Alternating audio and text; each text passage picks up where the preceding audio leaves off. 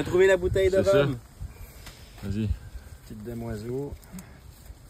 un petit mot. Ça serait génial d'avoir une date.